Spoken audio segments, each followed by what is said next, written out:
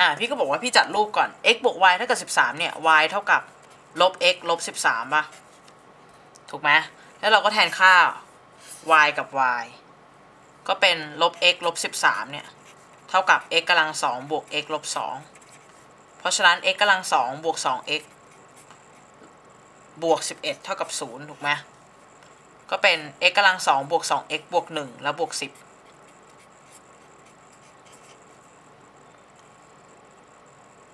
ถูกไหม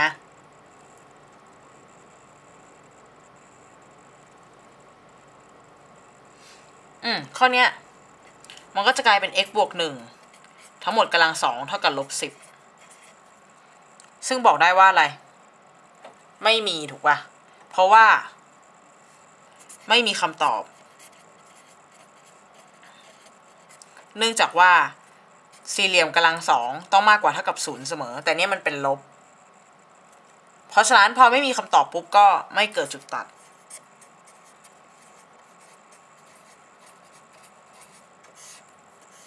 โอเคไหม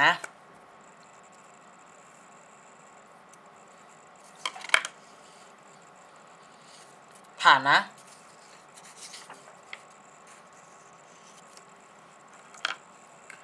ข้อต่อไปบอกว่า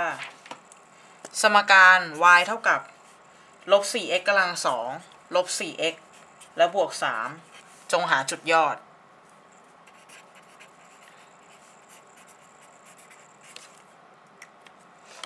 พี่บอกว่า h เท่ากับ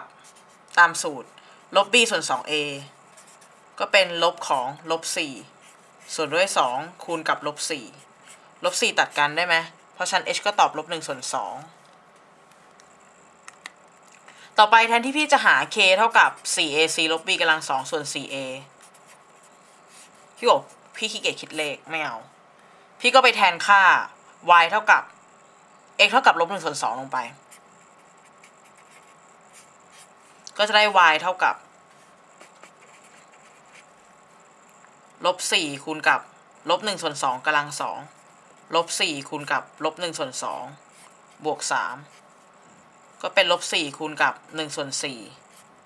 บวกตัดกันได้สองบวกสองบวกสามลบหนึ่งบวกสองบวกสามก็ได้สี่เพราะฉะนั้นจุด hk ก็คือลบหนึ่งส่วนสองสี่โอเคไหม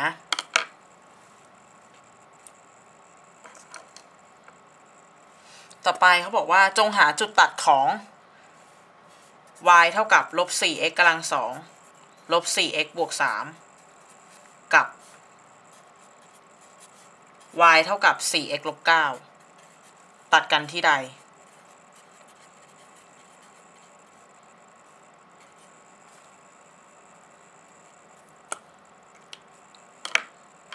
อะ พี่ก็บอกว่าอะไร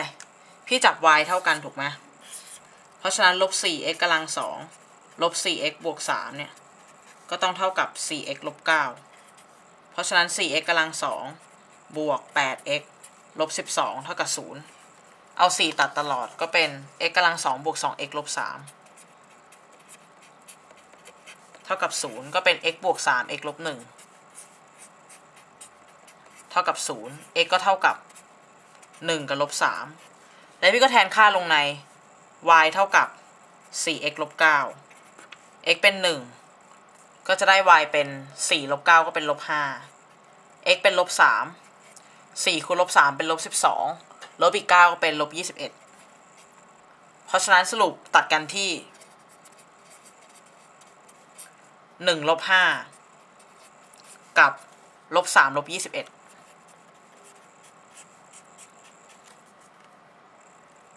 โอเคนะ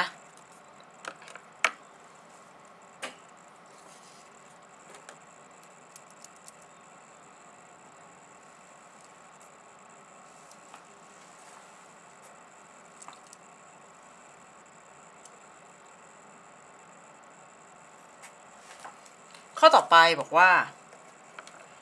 y เท่ากับ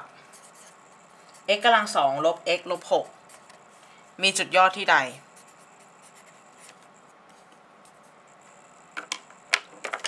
พี่ก็บอกว่าเหมือนเดิม h เท่ากับ ลบ b ส่วน 2a ก็เป็นลบของลบ 1 ส่วน 2 คูณ 1 ก็เป็น 1 ส่วน 2 แล้วเราก็จัดการแทนค่า 1 ส่วน 2 ลงใน y ถูกไหมก็เป็น y เท่ากับ1ส่วน2กำลัง2ก็เป็น1ส่วน4ลบ1ส่วน2ลบ6ครนอเป็น 4 ก็เป็น1ลบ2ลบ24 ก็เป็นลบ25ส่วน4เพราะฉะนั้นจุดยอดก็คือ1ส่วน2กับลบ25ส่วน4โอเคไหม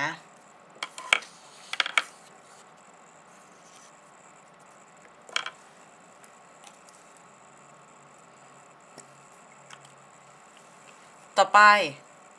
เขาบอกว่าจากสมการข้อที่แล้วคือ y เท่ากับ x กำลังสองลบ x ลบ6เนี่ย จงหาค่า x ที่ทำให้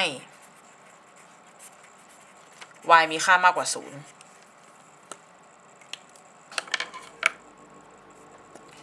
พี่บอกว่าจาก y มากกว่า 0 เนี่ย y คือ x กำลังสองลบ x ลบ6ก็ ก็แทนค่าลงไป เพราะฉันก็จะได้ x กำลังสองลบ x ลบ6มากกว่า0 x ลบ3 x บวก2มากกว่า0น้องก็จะได้ว่าพอดกราฟถูกไหมก็เป็น x บวก2เท่ากับ0 x ก็เท่ากับลบ2 x ลบ3มากกว่า0 x ลบ3เท่ากับ0 x ก็เท่ากับ3แล้วก็พอดกราฟบวกลบบวก เอาช่วงมากกว่า0ก็เอาตั้งแต่3เป็นต้นไป ก็เอาน้อยกว่าลบ2ถูกไหมเพราะฉะนั้นค่า x ก็คือ x มากกว่าลบ2เอ้ย x มากกว่า3หรือ x น้อยกว่าลบ2ถึงจะทำให้ y มีค่ามากกว่า0ถูกไหม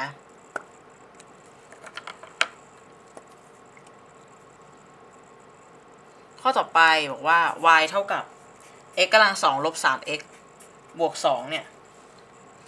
มีจุดยอด คือจุดอะไร แล้วก็ค่ามินิมัมคือเท่าไหร่ อะ ข้อเนี้ยพี่บอกว่า hk h ก็เท่ากับลบ b ส่วน 2a ก็เป็นลบของลบ3ส่วน 2 คูณกับ 1 ก็เป็น 3 ส่วน 2 ถูกไหม ต่อไป k ล่ะ k ก็เท่ากับ 4ac ลบ b กำลัง2ส่วน 4a ก็เป็น 4 คูณ 1 คูณ 2 ลบ ลบ 3กำลัง2ส่วน 4 คูณ 1 8 ลบ 9 ก็เป็น ลบ 1 ก็เป็น ลบ 1 ส่วน 4 เพราะฉะนั้นจุดยอดตอบ จุดยอดก็คือ3ส่วน2ลบ1ส่วน4 และค่ามินิมัมตอบลบ1ส่วน4โอเคไหมข้อต่อไป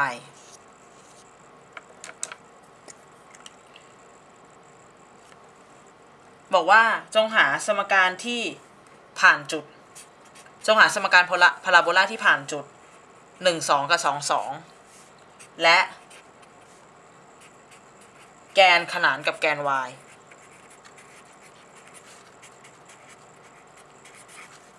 อ๋อมีอีกจุดหนึ่งด้วยเป็นลบหนึ่งห้า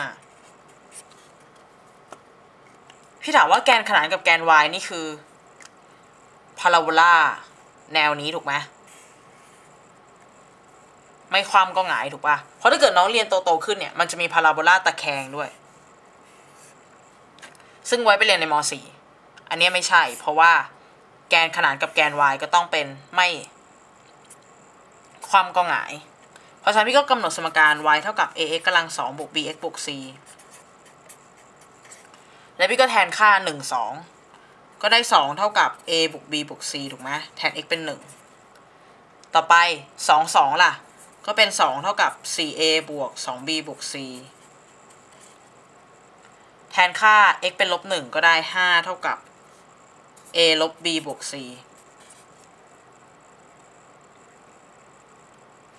อะ พี่ก็เป็นสมการที่1 2 3ตามลำดับ โอเคไหมพี่ก็บอกว่าพี่เอาสมการที่หนึ่งบวกสมการที่สาม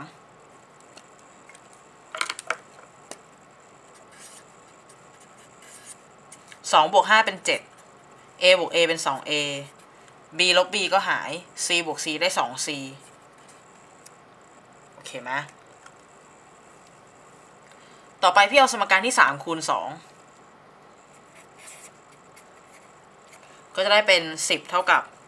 สอง a ลบสอง b บวกสอง c แล้วก็ไปบวกกับสมการที่สองก็ได้เป็นสิบสองเท่ากับ 4a บวก 2a เป็น 6a 2b ลบ 2b ก็หาย c บวก 2c ก็ได้เป็น 3c พี่เอา3หารตลอดก็เป็น 4 เท่ากับ 2a บวก c จัดเป็นสมการที่ 4 ไม่ต้องก็ได้ พี่บอกว่าพี่เอา2สมการนี้มาลบกัน 7 ลบ 4 ได้ 3 2a ลบ 2a ก็เป็น 0 2c ลบ c ก็เหลือ c เดียว และพี่ก็แทนค่าลงไป c เท่ากับ 3 ปุ๊บ a ก็เป็นย้ายไปเป็น1ก็ a ก็เป็น1ส่วน2ถูกไหมแล้ว b ล่ะ น้องก็แทนค่า a เป็น1ส่วน2 c เป็น3เพราะฉะนั้นย้าย3ไปลบก็เป็น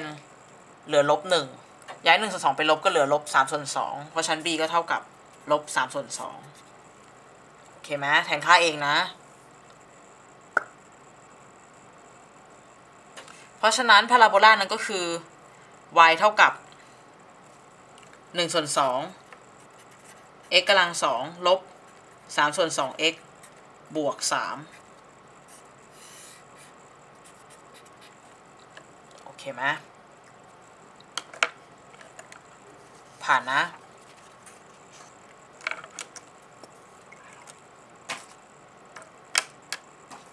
ข้อต่อไปบอกว่า ข้อใดเป็นสมการของพาราโบลาที่มีจุดยอด 2 3 มีแกนสมมาตรขนานกับแกน y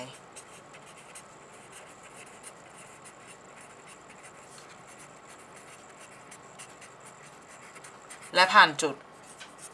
4 5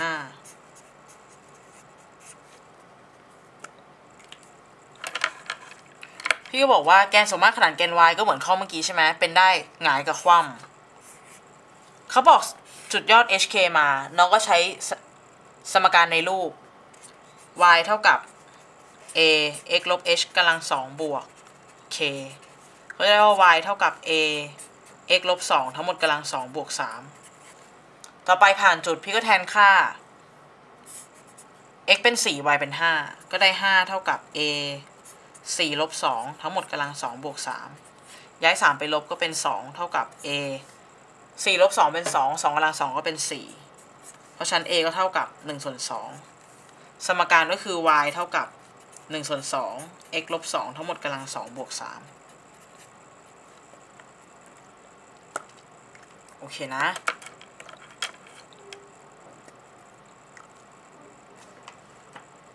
ข้อต่อไปบอกว่า จากสมการ x กำลังสองลบสอง x เท่ากับสอง y ลบห้า มีจุดยอดที่ใด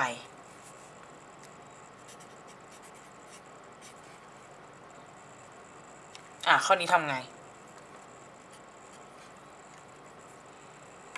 พี่บอกว่าพี่จัดรูปสมการก่อนว่า 2y เท่ากับ x กำลัง 2 ลบ 2x บวก 5 เพราะฉะนั้น y ก็เท่ากับ 1 ส่วน 2 x กำลัง 2 ลบ x บวก 5 ส่วน 2 hk h ก็เท่ากับ ลบ b ส่วน 2a ก็เป็นลบลบ1ก็เป็น1ส่วน2คูณ1ส่วน2ก็เป็น1ส่วน1ก็เท่ากับ1ถูกไหมต่อไป k ล่ะ แทนที่พี่จะหา k เท่ากับ 4ac ลบ b กำลัง2ส่วน 4a พี่ก็บอกว่า พี่แทน x เท่ากับ 1 ลงไป ก็ y เท่ากับ 1 ส่วน 2 ลบ 1 บวก 5 ส่วน 2 1 บวก 5 ส่วน 1 ส่วน 2 บวก 5 ส่วน 2 ก็เป็น 3ลบ1ก็เหลือ 2 เพราะฉะนั้น hk ก็ตอบ 1 2 โอเคไหมหารนะ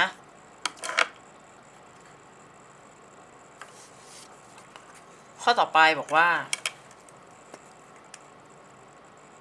กำหนดสมการ x กำลังสองลบ 4x บวก 4y ท่ากับ 0 พิจารณาว่าข้อใดผิด ข้อ 1 บอกว่าจุดยอดคือ 2 1 ข้อ 2 ค่าสูงสุดคือ 1 ข้อ 3 กราฟตัดแกน x ที่ 00 และ 40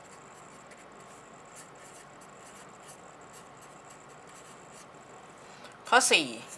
4 ฟังก์ชันเป็นบวกเมื่อลบ4น้อยกว่า x น้อยกว่า 0ทำให้ฟังก์ชันเป็นบวกก็คือ y เป็นบวก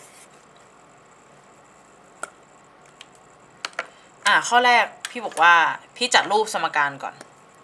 ก็เป็น 4y เท่ากับลบ x กำลัง2บวก 4x เพราะชั้น y ก็เท่ากับลบ1ส่วน4 x กำลัง2บวก x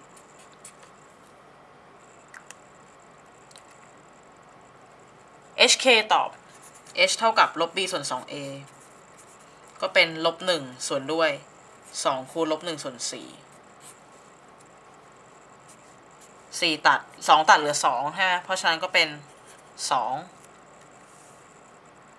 h เป็น 2 เพราะฉะนั้น k พี่ก็ตอบว่า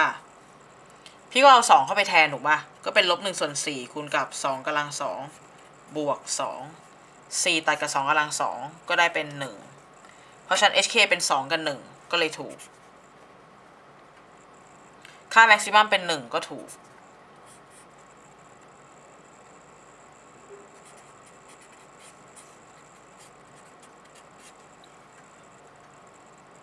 ต่อไปตัดแกน x ล่ะ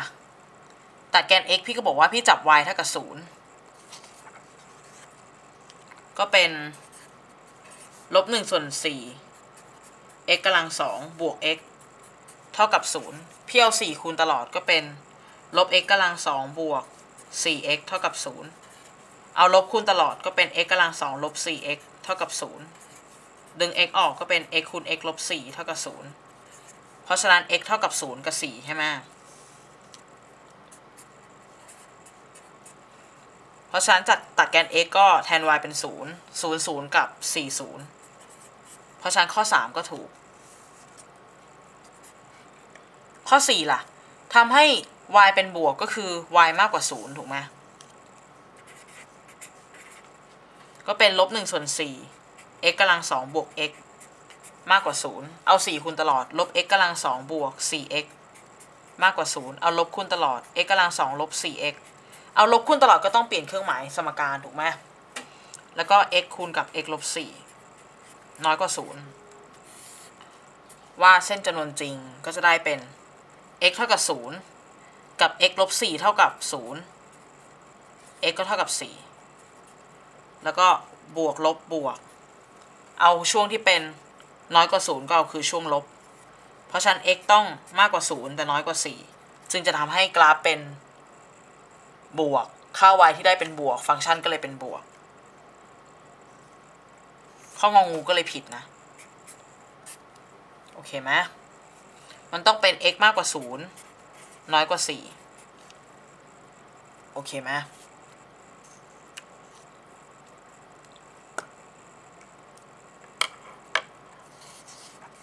ต่อไป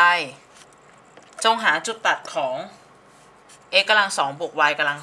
2เท่ากับ 16 กับ y กำลัง2ลบ 16x เท่ากับ 0 ตัดที่จุดใด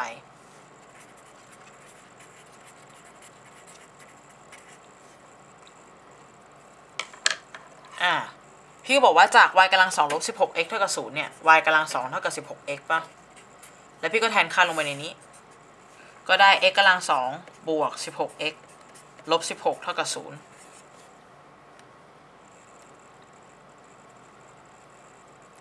พี่บอกว่าพี่จัดรูปสมการก็เป็น x กำลัง2บวก2คูณ x คูณ8บวก8กำลัง2เป็น64 แล้วก็ลบ 64 ลบ 16 เท่ากับศูนย์ก็เป็น x บวกแปดทั้งหมดกำลังสองลบแปดสิบเท่ากับศูนย์ x บวกแปดทั้งหมดกำลังสองเท่ากับแปดสิบ x บวกแปดก็เท่ากับ บวกลบรูทแปดสิบ x ก็เท่ากับ ลบแปดบวกลบรูทแปดสิบคือสี่รูทห้าถูกไหม ต่อไป y กำลังสองเท่ากับสิบหก x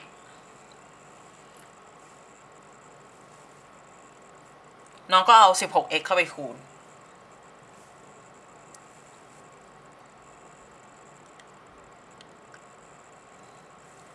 อะ พี่กำลังคิดอยู่ พี่จะคูณดีไหมอืม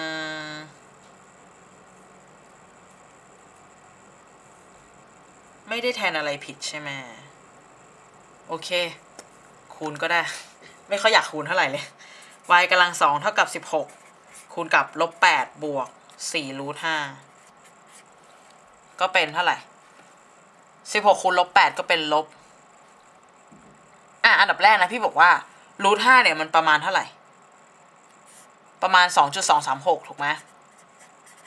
เพราะฉะนั้นสี่รูทห้าก็เป็น แปดจุดเก้ากว่าลบแปดบวกแปดจุดเก้ากว่าก็เป็น 0.9 กว่ากว่าคูณกับ 16 ก็เป็นบวก y กำลังสองมากกว่า 0 ก็ใช้ได้ โอเค คือตอนแรกพี่นึกว่ามันจะทำให้ค่าใดค่าหนึ่งเป็นลบไง ก็เลยจะตัดได้อีกค่าหนึ่ง แต่ก็ไม่เป็นไร เอางี้ก็ได้ ก็เป็นลบ 128 บวกกับ 64รูท5 แล้ว y ก็เท่ากับบวกลบรูทลบ128บแปดบวก64รูท5ต่อไป y กำลังสองเท่ากับ16คูณกับลบ8ลบ4รูท5ตรงนี้มันมีค่าน้อยกว่า0แน่นอน เพราะฉัน y กำลังสองน้อยกว่า0ก็ไม่มีคำตอบถูกไหม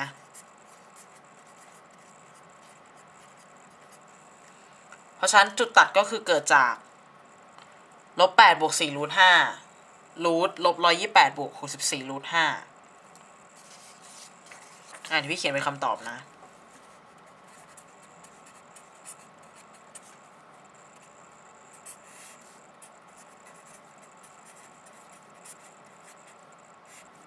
คำตอบหนึ่งกับ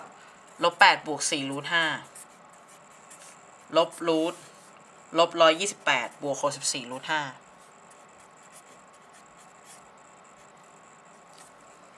อีกคำตอบหนึ่งโอเคไหม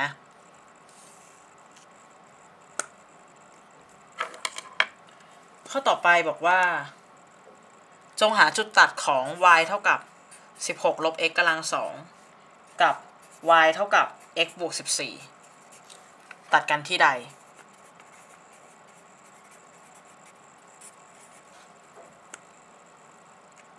พี่บอกว่าพี่จับ y เท่ากัน ราะฉะนั้น 16 ลบ x กำลังสองก็เท่ากับ x บวก 14 ก็เป็น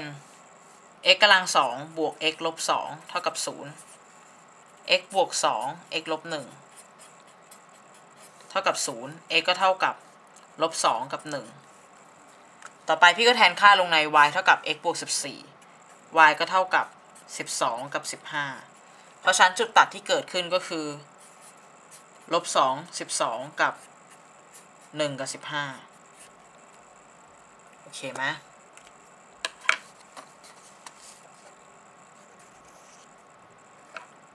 ข้อต่อไปบอกว่าถ้าเส้นตรง 4x ลบ 3y เท่ากับ 32 ตัดกับพาราโบลา y กำลังสองเท่ากับ 36 32x ที่จุด A กับ B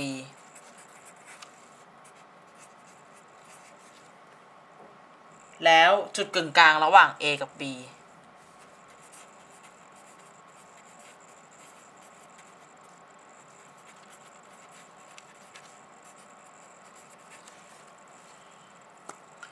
พี่ก็บอกว่าพี่หาจุดจุดที่ตัดก่อนก่อนก็แล้วกัน ก็เป็นบอกว่า y กำลังสองเท่ากับ 32x เนี่ย x ก็เท่ากับ y กำลังสองส่วน 32 ถูกไหมแล้วก็แทนลงไปในนี้ พี่ก็ได้4คูณกับ y กำลัง2ส่วน32ลบ 3y เท่ากับ 32 4 ตัดได้ 8 ครั้ง เพราะฉันเอา 8 คูณตลอด ก็ตัดตัดก็ได้ y กำลัง2ลบ 24y เท่ากับ 256 y กำลัง2ลบ 24y ลบ 256 เท่ากับ 0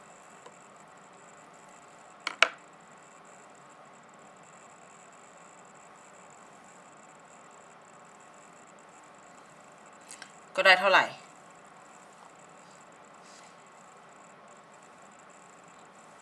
อืมต้องแยกตัวประกอบเป็น 8 กับ 32 ถูกไหม ก็เป็น y ลบ 32 คูณกับ y บวก 8 เท่ากับ 0 y ก็เท่ากับ 32 กับลบ 8 เพราะฉะนั้น x ก็เท่ากับ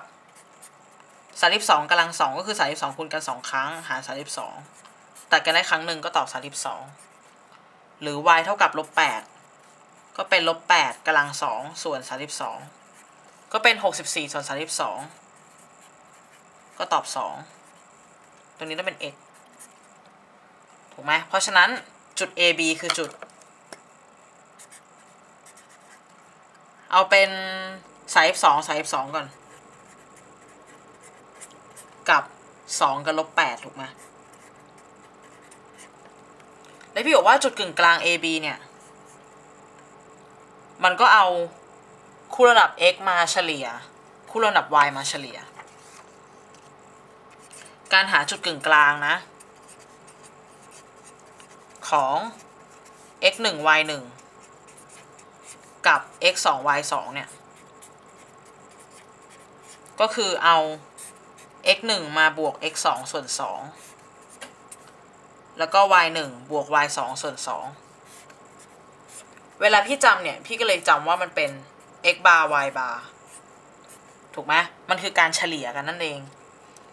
คล้ายๆ ค่าเฉลี่ย โอเคนะ มันเป็นแค่การจำเฉยๆนะ อะ พี่ก็บอกว่า เพราะฉะนั้นจุดกึ่งกลางของระหว่างสายสองสายสองกับสองลบแปดเนี่ย จะมีจุดกึ่งกลางที่เท่าไหร่ ก็ต้องเอาสามสิบสองมาบวกสองและหารสองถูกไหมกับสามสิบสองมาลบแปดและหารสองก็ได้เป็นสามสิบสองบวกสองเป็นสามสิบสี่หารสองก็ได้สิบเจ็ดสามสิบสองลบแปดก็เป็นยี่สิบสี่หารสองก็เป็นสิบสอง เพราะชั้นจุดกึ่งกลางก็คือสิบเจ็ดกับสิบสองโอเคไหม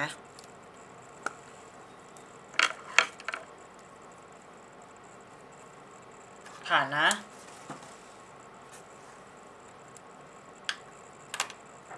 ข้อต่อไปบอกว่ากำหนดเส้นตรง 3x ลบ 4y บวก 6 เท่ากับ 0 ตัดกับพาราโบลา y กำลัง 2 เท่ากับ 6x ที่จุด p และ q จงหา pq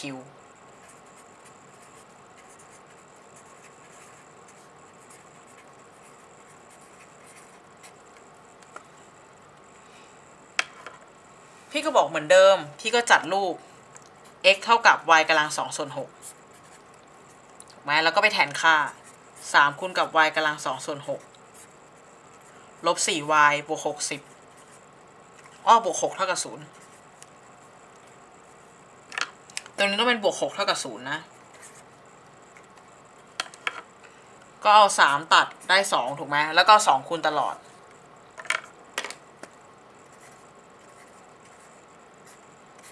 ก็ได้ y กำลัง2ลบ 8y บวก12เท่ากับ0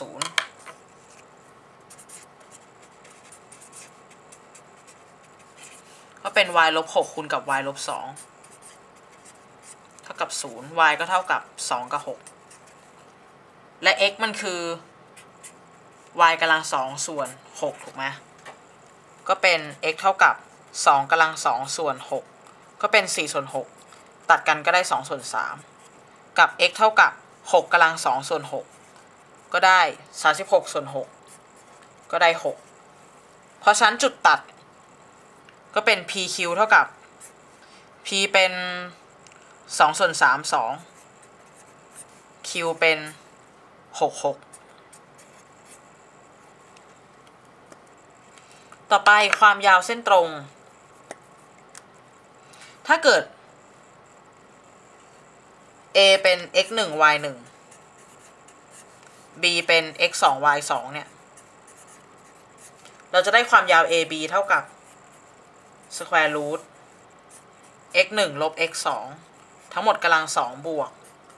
y 1ลบ y 2ทั้งหมดกำลัง2โอเคไหมหรือพี่จำว่ามันคือเดลต้า x กำลัง2บวกเดลต้า y กำลัง2แล้วถอดรูทเดลต้าคือผลต่างใช่ไหมโอเคนะ เพราะฉะนั้นพี่ก็บอกแล้วว่า pq คือ square root จับ x มาลบกันก็เป็น6ลบ2ส่วน3ทั้งหมดกำลัง2บวกกับ6ลบ2ทั้งหมดกำลัง2คิดข้างหลังก่อน ข้างหลังเป็น 4กำลัง2ก็เป็น 16 ส่วนข้างหน้าก็เป็น 18 ส่วน3ลบ2ก็เป็น 16 ส่วน3กำลัง2ก็ส่วน 9 16กำลัง2ก็ 256 บวกกันบวกกับ 16 แล้วก็ถอดรูท16คูณ9ก็เป็น144ก็ปรับ14 16เป็น144ส่วน9บวกกันก็400ถูกไหม400ส่วน9ถอดรูทก็ได้20ส่วน3ก็เลยตอบ20ส่วน3โอเคนะ ผ่านนะ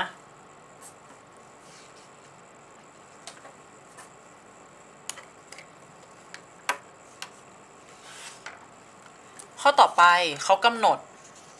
กราฟมาให้กำหนดกราฟดังรูป เป็นกราฟของสมการใด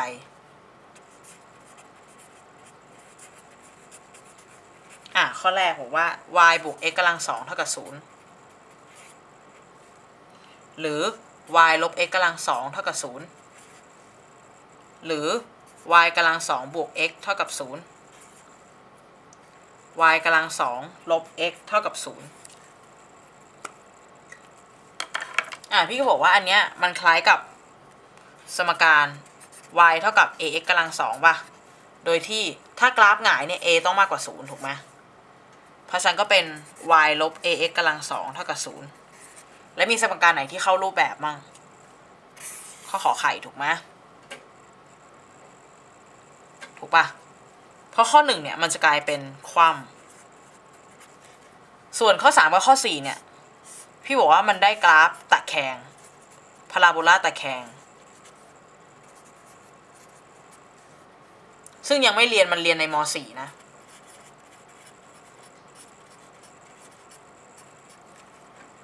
สังเกตจากอะไร สังเกตจาก y เนี่ยมีดีกรีสอง แต่ x เนี่ยมีดีกรีหนึ่งแต่ถ้าเกิดพาราโบลาหงายคว่ำเนี่ย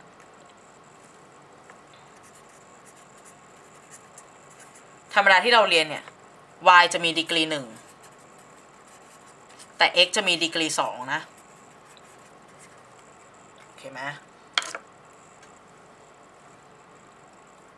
ถ้าเกิดหงายคว่ำเนี่ย สมการธรรมดาที่เราคิดเนี่ย ก็คือ y เท่ากับ ax กำลังสองบวก bx บวก c ถูกไหม นี่คือสมการที่เราคิด แต่ถ้าเกิดพาราตะแคงเนี่ย สมการที่คิดก็คือ x เท่ากับ ay กำลังสองบวก by บวก c โอเคไหมก็เหมือนสลับกัน ระหว่าง x กับ y y จะมีดีกรีเป็น 2 x เป็น 1 ก็เนี่ยดีกรีเป็น 2 ดีกรีเป็น 1 ถ้าหงายความ y จะมีดีกรีเป็น 1 x จะมีดีกรีเป็น 2 ก็เนี่ยดีกรีเป็น 1 และนี่ดีกรีเป็น 2 โอเคไหมผ่านนะ อะถ้าเข้าใจพี่บอกว่า ก็ต้องทำข้อต่อไปได้ถูกไหมข้อต่อไปกำหนดสมกราฟมาเป็นอย่างนี้ จงหาสมการขข้อแรก 2y บวก x กำลัง2เท่ากับ0ข้อ 2 y ลบ 2x กำลัง2เท่ากับ0ข้อ 3 2y กำลัง2บวก x เท่ากับ0ข้อ 4 y กำลัง2ลบ 2x เท่ากับ0 พี่บอกว่าข้อเนี้ยมันเหมือนกับอะไร มันเหมือนกับ y เท่ากับ ax กำลัง2แต่ a ต้องน้อยกว่า0ถูกไหมเพราะฉะนันก็ต้องย้ายมาเป็น y ลบ ax กำลังสอง a น้อยกว่าศูนย์เนื่องจาก a มันน้อยกว่าศูนย์ปุ๊บสามประสิทธิ์ x ก็เลยกลายเป็นสามประสิทธิ์หน้า x กำลังสองของตรงนี้ก็เลยกลายเป็นบวก ก็เลยตอบข้อสองถูกไหมตอบข้อหนึ่งโทษที เพราะถ้าเกิดข้อหนึ่งน้องคิดจริง ๆ อะน้องจะได้ว่า y เท่ากับ ลบ x กำลังสองส่วนสองถูกไหมถ้าข้อสองน้องคิดน้องก็จะได้เป็น y เท่ากับ 2x กำลังสองซึ่งมันจะได้เป็นหงายแทน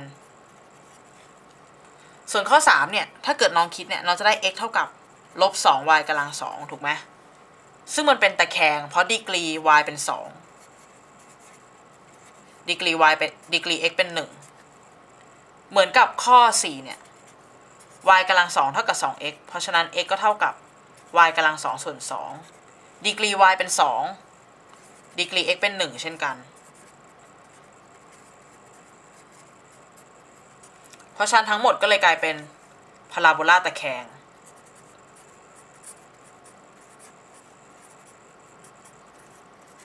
โอเคไหม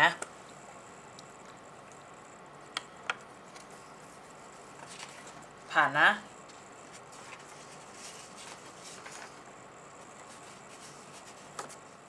อะข้อต่อไปนะ เรามาดูกันต่อที่เขาบอกว่า จากกราฟกำหนดจุดตัดอยู่ที่กำหนดจุดย่ออยู่ที่จุดศูนย์สองจะมีสมการใด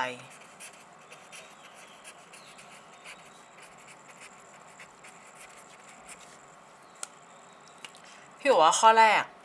2y บวก x กำลัง2เท่ากับ 0 ข้อที่ 2 y บวก 2x กำลัง 2 เท่ากับ 0 ข้อที่ 3 y บวก x กำลัง 2 เท่ากับ 0 ข้อที่ 4 y ลบ x กำลังสองเท่ากับสอง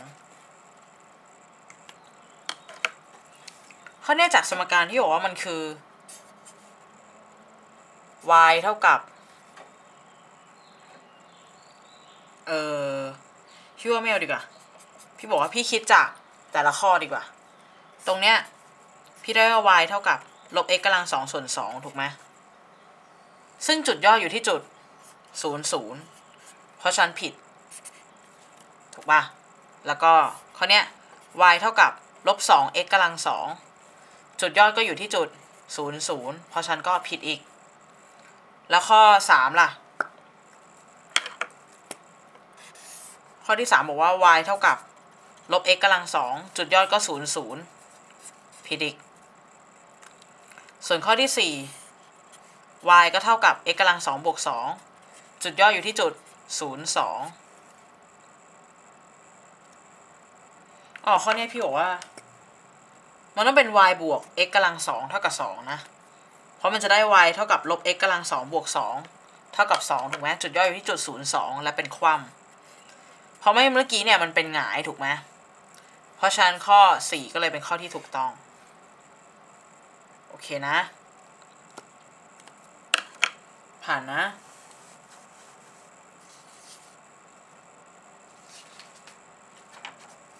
ข้อต่อไปบอกว่ากำหนดสมการกำหนดกราฟมาตรงนี้ จุดย่ออยู่ที่จุดศูนย์ลบสามจะมีกราฟตรงกับสมการใด ข้อแรก y เท่ากับ 3x กำลังสองข้อที่ 2 y เท่ากับลบ 3x กำลังสองข้อที่ 3 y เท่ากับ x ลบ3กำลังสองข้อที่ 4y เท่ากับ x บวก 3 ทั้งหมดกำลังสองข้อแรกเนี่ย พี่คิดวิเคราะห์ทีละจุดนะ ทีละทีละช้อยช้อยแรกเนี่ย y เท่ากับ3 x กำลังสองจุดยอดก็ 0 0 ถูกไหม และเป็นหงายก็ผิดอยู่ดี ข้อที่ 2 y เท่ากับลบ3 x กำลังสองเนี่ยมันผิดตั้งแต่อะไรละ ผิดตั้งแต่ a เป็นลบ ซึ่งมันให้กราฟคว่ำก็ผิดอยู่ดี และแถมจุดยอดก็ไม่ตรง เพราะจุดยอดมันคือจุดศูนย์ศูนย์แล้วข้อสามอะ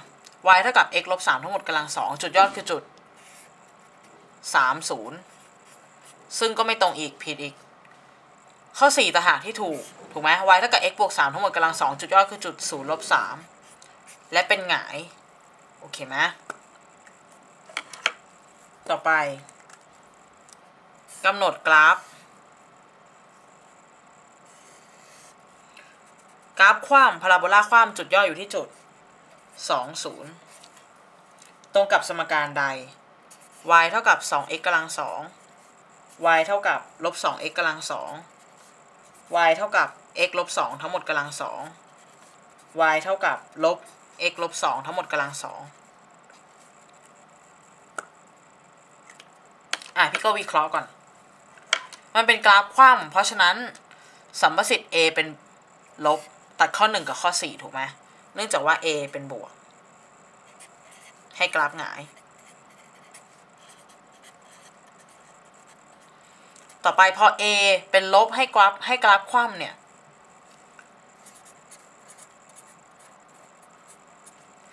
y เท่ากับลบ 2x กำลัง2จุดยอดคือจุด 0 0 ซึ่งก็ผิด แล้วก็เลยมาดูข้อ 4 y เท่ากับลบ x ลบ2ทั้งหมดกำลัง2จุดย่อยอยู่ที่จุด 2 0 และกราฟก็เป็นกราฟความ เพราะฉะนั้นก็เลยตอบข้อ 4 โอเคไหมผ่านนะ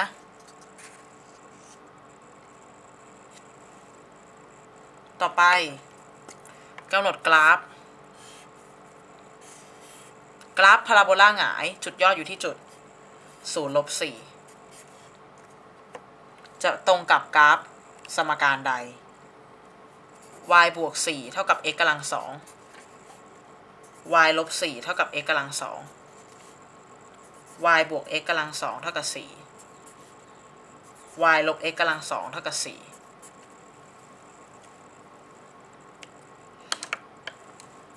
อะ พี่ก็จัดรูปของแต่ละสมการก่อน สมการแรกเนี่ย y เท่ากับ x กำลัง2ลบ4จุดย่อยอยู่ที่จุด0ลบ4เป็นกราฟหงาย ตรงเป๊ะตรงเป๊ะเพราะฉะนั้นก็ตอบข้อนี้แหละ แต่เราไปดูข้อที่เหลือบ้าง y เท่ากับ x กำลัง2บวก4เป็นกราฟหงายเช่นกันแต่จุดย่อยอยู่ที่จุด0 4เพราะฉะนั้นก็เลยผิด ต่อไป y เท่ากับลบ x กำลัง2บวก4จุดย่อยอยู่ที่จุด 0 4 เป็นความก็ผิดทั้งจุดยอดผิดผิดทางลักษณะกราฟถูกไหมต่อไป y เท่ากับ x กำลัง2บวก4ก็จุดยอดเป็นจุด0 4กราฟหงาย ก็ผิดที่จุดยอดเช่นกัน โอเคไหม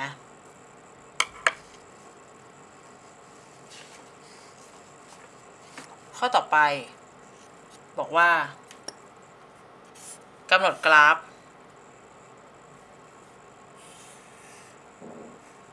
จุดย่ออยู่ที่จุดสามห้า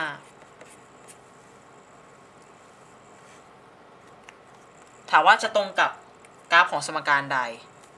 y เท่ากับ a x บวกสามทั้งหมดกำลังสองบวกห้าหรือ y เท่ากับ a x ลบสามทั้งหมดกำลังสองบวกห้าหรือ y เท่ากับ a x บวกห้าทั้งหมดกำลังสองบวกสามหรือ y เท่ากับ a x ลบห้าทั้งหมดกำลังสองบวกสาม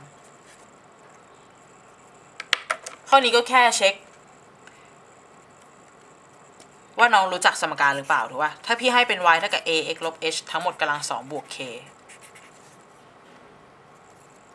จุดยอดสามห้าเนี่ย มันก็ต้องได้ y เท่ากับ a x ลบสามทั้งหมดกำลังสองบวกห้าถูกป่ะเพราะฉะนั้นก็ข้อสองถูกแน่นอน แต่ข้อหนึ่งเนี่ยให้จุดยอดเป็นลบสามห้า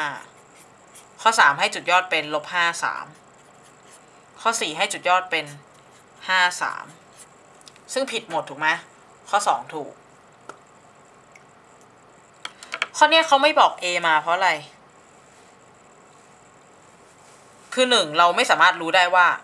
a เนี่ยเป็นค่าเท่าไหร่ เพราะเขาไม่บอกจุดที่เหลือมาถูกไหมแต่เรารู้อย่างเดียวว่า a ต้องเป็นลบ เพราะว่ากราฟเป็นพาราโบลาความ โอเคไหมข้อต่อไปนะ บอกว่ากำหนด f(x) เท่ากับ x กำลังสองบวก 3x ลบ4ถามว่า f(x) จะเป็นบวกเมื่อ x เท่าไหร่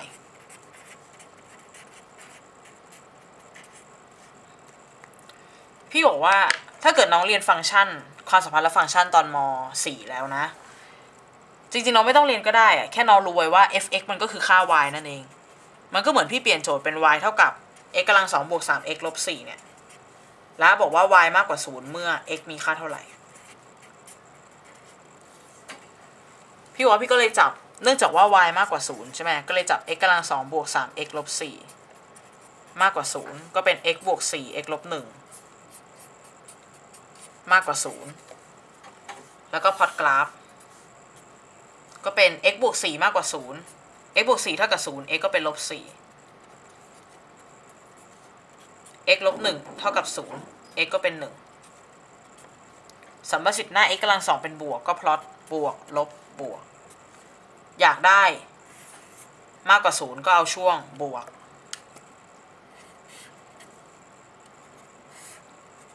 เพ ราะฉะนั้น x มีค่าเท่าไหร่ น้อยกว่าลบ4หรือ x มากกว่า 1 โอเคไหม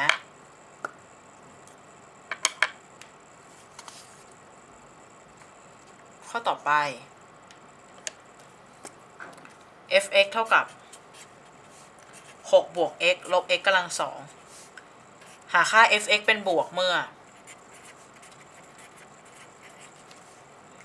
เหมือนเดิมใช่ไหมเปลี่ยน f(x) เป็น y y เท่ากับ พี่ขอเรียงดีกรีนิดนึง ก็เป็นลบ x กำลังสองบวก x บวก 6 บอกว่าอยากได้ y มากกว่า 0 เมื่อเท่าไหร่ เมื่อ x มีค่าเท่าไหร่ y มีค่ามากกว่า 0 ก็ลบ x กำลังสองบวก x บวก 6 มากกว่า 0 พี่เอาลบคูณตลอด x กำลังสองลบ x ลบ 6 น้อยกว่า 0 ถูกไหมเนื่องจากเอาลบคูณตลอดนะ อาสมการต้องกลับเครื่องหมาย แยกตัวประกอบก็ได้ x ลบ3 x บวก2น้อยกว่า 0 x ลบ3เท่ากับ 0 x บวก2เท่ากับ 0 x ก็ต้องเท่ากับลบ2 x ลบ3เท่ากับ 0 x ก็ต้องเท่ากับ 3 ถูกไหมแล้วสัมประสิทธิ์หน้า x กำลังสองเป็นบวก เพราะฉะนั้นก็พลอตบวกลบบวก อยากได้ช่วงน้อยกว่า0ก็เอาช่วงที่เป็นลบ เพราะฉะนั้น x ก็มีค่ามากกว่าลบ2น้อยกว่า3โอเคไหม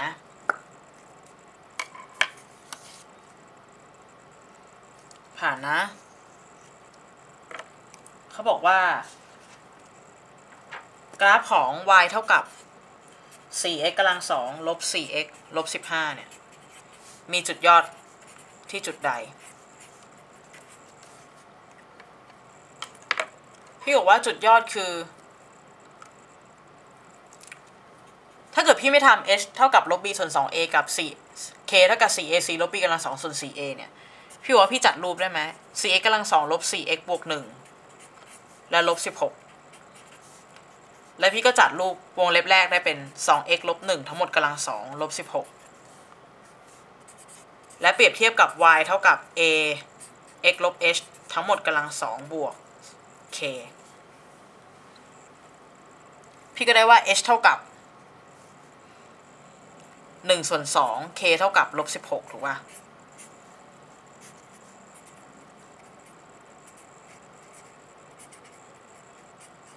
ถูกไหมเพราะฉันก็เลยตอบ hk เป็น1ส่วน2ลบ16 โอเคป่ะ ผ่านนะ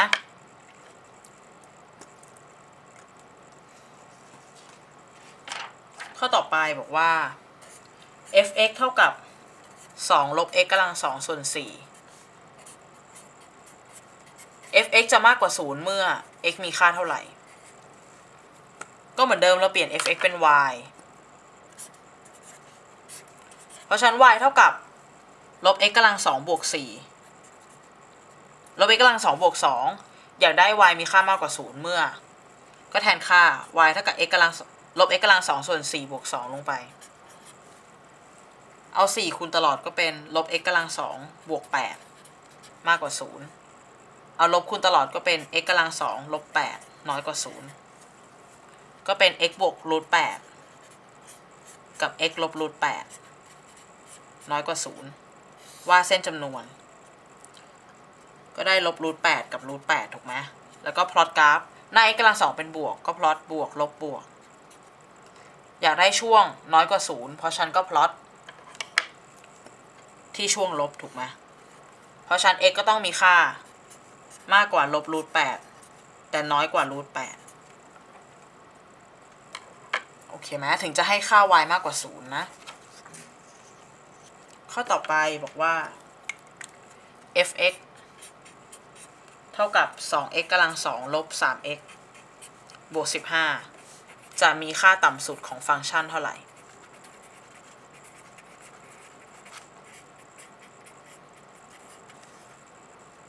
อะ ข้อนี้ทำไง พี่ก็บอกเหมือนเดิม พี่เปลี่ยน f(x) เป็น y ก็เป็น y เท่ากับ 2x กำลัง 2 ลบ 3x บวก 15 หาค่าต่ำสุดของ f(x) ก็เหมือนหาค่ามินิมัมธรรมดา ถูกไหม มินิมัมก็เท่ากับ 4ac ลบ b กำลัง2ส่วน 4a ถูกปะก็เป็น 4a คือ 2 c คือ 15 ลบ b คือลบ3กำลัง2ส่วน 4 คูณ 2 ก็เป็น 120ลบ9ส่วน 8 ก็เป็น 111ส่วน 8 โอเคไหมเพ ราะฉะนั้นค่ามินิมัมก็ตอบ111ส่วน8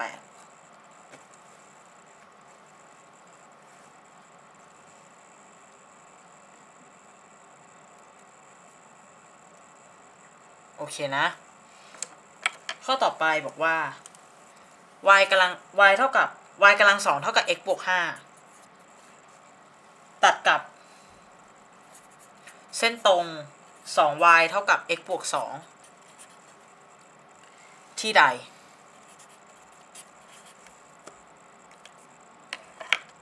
พี่บอกว่าข้อเนี้ย พี่บอกว่า x เท่ากับ y กำลังสองลบห้าถูกไหมกับ x เท่ากับ 2y ลบ2แล้วพี่ก็จับ x มาเท่ากัน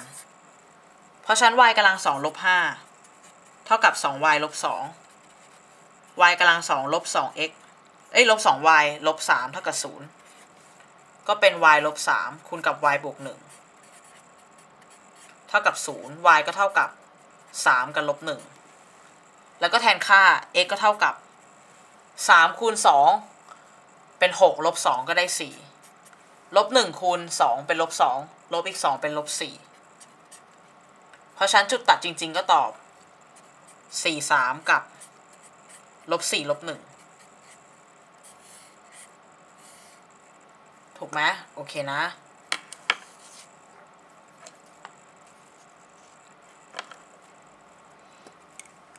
ข้อต่อไปบอกว่ากราฟพาราโบลา y เท่ากับ x กำลังสองบวกสอง x ลบสี่สิบแปดตัดแกน x ที่ a และ b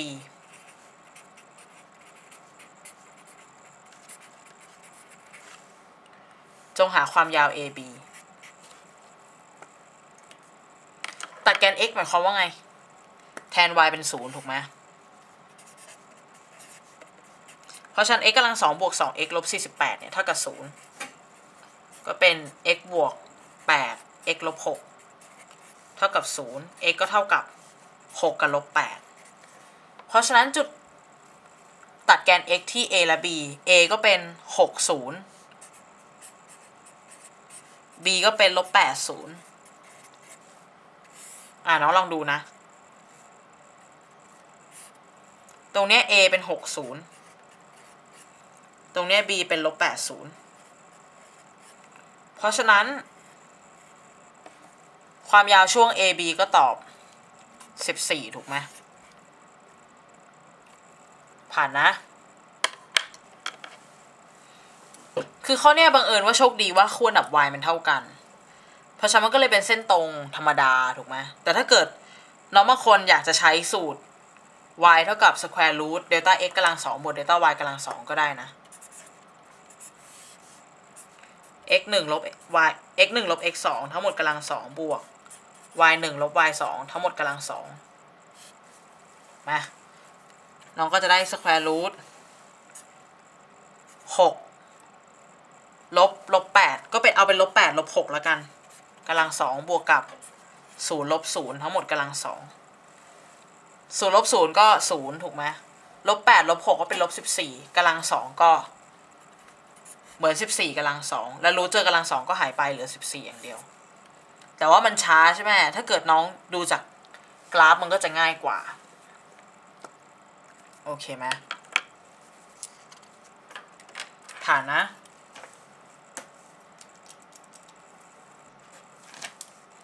ข้อต่อไปบอกว่า y เท่ากับ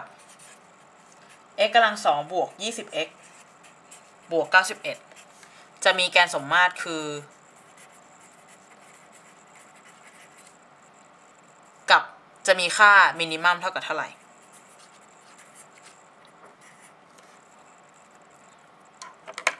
อะ ข้อเนี้ยพี่ก็บอกว่า ถ้าเกิดน้องใช้แกนสมมาตรเนี่ย h เท่ากับลบ b ส่วน 2a กับ 4a k เท่ากับ 4ac ลบ b กำลัง2ส่วน 4a มันก็ได้นะ แต่พี่บอกว่าพี่ขอจัด รูปสมการได้ไหม x กำลัง2บวก 20x บวก100และลบ19ได้ไหมเพราะฉะนั้นพี่ก็ได้เป็น x บวก10ทั้งหมดกำลัง2ลบ19เพราะฉะนั้น hk ก็เท่ากับลบ10กับลบ19ถูกไหมเพราะฉะนั้นแกสมมาตรตอบ x เท่ากับลบ10ค่ามินิมัมตอบลบ19 ถ้ารู้ hk ก็ตอบได้ทั้งแกสมมาตรกับค่ามินิมัมถูกไหมผ่านนะ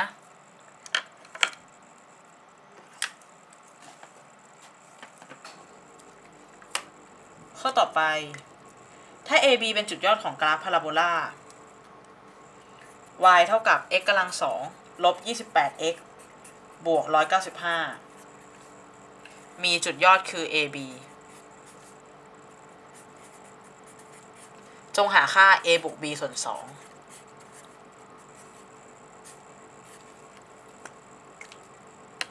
อะ พี่ก็บอกว่าข้อเนี้ย ถ้าพี่คิด h เท่ากับลบ b ส่วน 2a k เท่ากับ 4ac ลบ b กำลัง2ส่วน 4a มันก็ได้ถูกไหมแต่พี่ก็ไม่อยากคิดเลขอีก พี่ก็บอกว่าพี่ลองทำวิธีนี้ จัดรูปสมการ x กำลัง2ลบ 28x ก็ต้องบวก 196 และลบ 1 ถูกไหม ราะฉะนั้นก็ได้เป็น x ลบ14 ทั้งหมดกำลัง2ลบ1ถูกไหมเพราะฉะนั้น hk ก็ตอบ 14 กับลบ1เพราะฉะนั้น a ก็เท่ากับ 14 b เท่ากับลบ1 a บวก b ส่วน 2 ก็ตอบ 14 ลบ1ส่วน 2 ก็ตอบ 13 ส่วน 2 โอเคนะ ผ่านนะ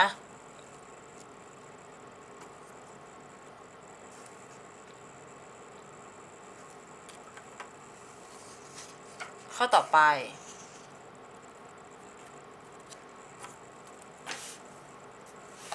บอกว่าจุดจงหาจุดยอดของพาราโบลา x กำลังสองบวก 8x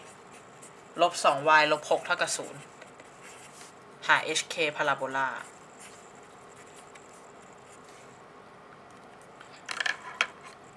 พี่ก็บอกพี่จัดรูปก่อนเป็น 2y เท่ากับ x กำลัง2บวก 8x ลบ 6 y ก็เท่ากับ1ส่วน2 x กำลัง2บวก 4x ลบ 3 อะ ข้อเนี้ยน้องบางคนบอกพี่ใช้แบบวิธีเมื่อกี้ได้ไหมมันเร็วดีพี่บอกข้อเนี้ยมันเริ่มไม่เร็วแล้วนะ เพราะอะไร หน้า x กำลังสองมันไม่ใช่หนึ่งแล้วอะเพราะฉะนั้นการที่น้องจะจัดกำลังสองสมบูรณ์เนี่ยมันเริ่มยากขึ้น พี่ก็เลยบอกว่าหนีมาใช้ h เท่ากับลบ b ส่วน 2a ก็ได้เป็นลบ4ส่วน2คูณ1ส่วน2ก็ตัดตัดกันได้ลบ4ถูกไหมต่อไป k เท่ากับ 4ac ลบ b กำลัง2ส่วน 4a ก็ได้เป็น 4 a คือ 1 ส่วน 2 c คือลบ 3 ลบ 4กำลัง2ส่วน 4 คูณ 1 ส่วน 2 เพราะฉะนั้นเราตัดกันได้ 2 ตัดกันได้สอง ก็เป็นสองคูณลบสามเป็นลบหกลบอีกสิบหกและส่วนสองก็เป็นลบยี่สิบสองส่วนสองเป็นลบสิบเอ็ดเพราะฉะนั้น hk ตอบลบสี่กับสิบเอ็ดลบสี่กับลบสิบเอ็ดโอเคไหมผ่านนะ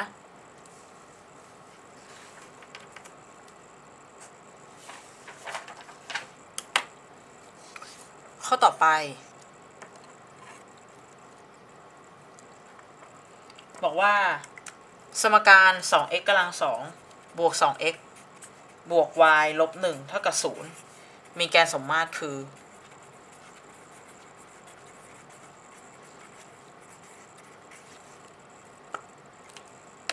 อะ ตรงนี้พี่ก็จัดรูปสมการ y เท่ากับลบ 2x กำลัง 2 ลบ 2x บวก 1 เท่ากับ ถูกไหม แกนสมมาตรก็คือหาค่า หาค่า h ให้ได้ h ก็เท่ากับลบ b ส่วน 2a ก็เป็นลบของลบ 2 หารด้วย 2 คูณกับลบ 2 เอาลบ 2 ตัดทั้งบนทั้งล่างก็ได้เป็นลบ1ส่วน2เพราะฉะนั้นแกนสมมาตรคือ x เท่ากับลบ1ส่วน2โอเคไหม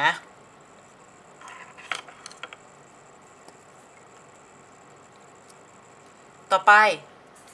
y เท่ากับ 2x ลบ 4 ลบ x กำลัง2 ตัดแกน x ที่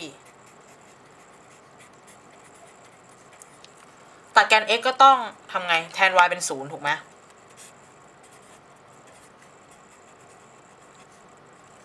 พอแทน y เท่ากับ0ปุ๊บ ก็ได้ 0 เท่ากับ ลบ x กำลัง2บวก 2x ลบ 4 พี่ก็ลบคูณตลอดเป็น x กำลัง2ลบ 2x บวก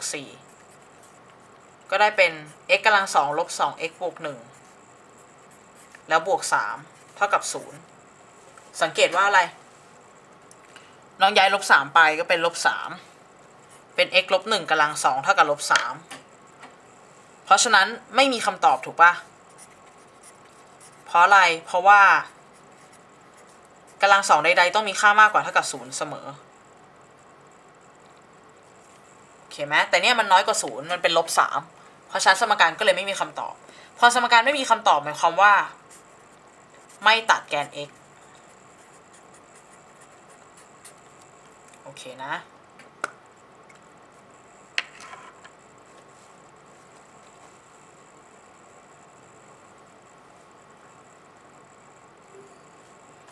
ข้อต่อไป y เท่ากับ ลบสอง x ลบพาย ทั้งหมดกำลังสองบวกสาสิบเอ็ดจงหาจุดยอด ข้อเนี้ยเขาเอามาลองลวงเฉยๆสำหรับน้องบางคนที่แบบกลัวตัวแปรอะไรเงี้ยน้องอาจจะกลัวพายโดยไม่มีสาเหตุที่บอกว่ามันง่ายมากเลยจัดรูป y เท่ากับ x ลบ h ทั้งหมดกำลังสองบวก k จุดยอด hk คือ เท่าไหร่ อันนี้ h ก็เท่ากับพายถูกไหมและ k เท่ากับ 31 เพราะฉะนั้นจุดยอด hk ก็เป็นพายกับ 31 โอเคไหม ต่อไป กราฟของ y เท่ากับ ax กำลัง2บวก bx บวก c เนี่ย จะตัดแกน x ที่ เอ้ย ตัดแกน y ที่ จุดใด ตัดแกน y หมายความว่าไง แทน x เป็น0ถูกไหมพอแทน x เป็น0ก็เป็น y เท่ากับ a คูณกับ 0กำลัง2บวก b คูณกับ0บวก c 0คูณอะไรก็ได้0เพราะชั้น y ก็เท่ากับ c ตัดแกน y ก็ที่จุด0 c ถูกไหมง่ายไหมง่ายนะ ต่อไป ค่าของฟังก์ชัน f(x) เท่ากับ6บวก x ลบ x กำลัง2เนี่ย จะมีค่าฟังก์ชันเป็นบวกเมื่อ เจอแต่แนวซ้ำๆแล้วใช่ไหม f(x) ก็แทนเป็น y เพราะฉะนั้นก็ได้ y เท่ากับลบ x กำลัง2บวก x บวก 6 แล้วบอกว่าจงหา y มากกว่า 0 น้องก็แทน y เป็นลบ x กำลัง2บวก x บวก 6 มากกว่า 0 ถูกไหม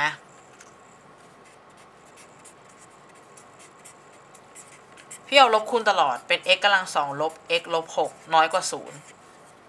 เนื่องจากเอาลบคูณตลอดน้องก็ต้องกลับเครื่องหมายเอาของอัสมการ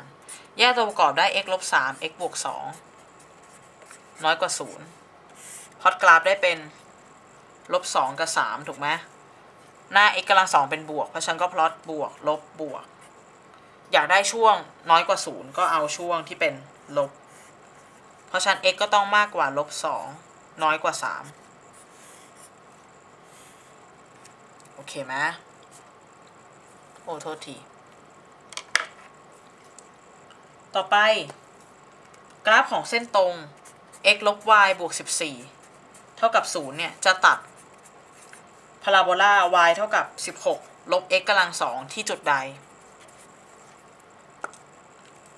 พี่บอกว่าพี่พยายามจัดให้ y เท่ากับ x บวก 14 ถูกไหม แล้วก็ y ก็เท่ากับ y เพราะฉะนั้น 16 ลบ x กำลัง2 ก็เท่ากับ x บวก14 x กำลัง2บวก x ลบ2เท่ากับ0ก็ได้เป็น x บวก2 x ลบ1เท่ากับ0เพราะฉะนั้น x ก็เท่ากับ 1 กับลบ2แล้วก็แทนค่า x เท่ากับ 1 y ก็เท่ากับ 15 x เท่ากับลบ2 y เท่ากับ 12 จุดตัดของเส้นตรงกับพาราโบลานี้ก็คือ 1 15 กับลบ2 2 ลบสองสิบสองโทษที โอเคไหมผ่านนะ